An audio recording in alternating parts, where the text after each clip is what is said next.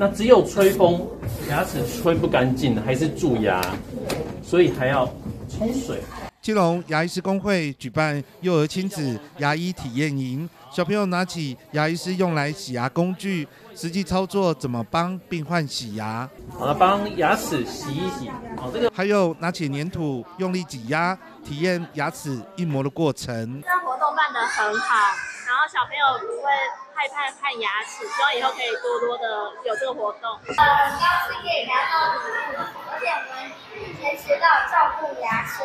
牙医夏令营除了让孩子穿上医师袍，也邀请家长帮孩子一起刷牙，学习正确的洁牙技巧。邀请家长和小朋友呢一起来参加，那由牙医师呢现场呢教小朋友和教家长怎么去帮小朋友刷牙。然后另外呢，为了降低小朋友呢看牙齿的恐惧，所以我们也有呢呃诊疗椅的体验，然后带着小朋友呢去介绍一下诊疗椅的这些器械，然后希望小朋友和家长呢经由这个活动。可以了解到呢牙齿的重要性，因为让我们小朋友从幼稚园开始就可以学习我们牙齿保健的相关知识，透过玩乐中来学习成长。我觉得牙医营真的是一个非常很好的一个呃呃暑假的一个营队。这场幼儿亲子牙医体验营，全国只有在基隆市举办。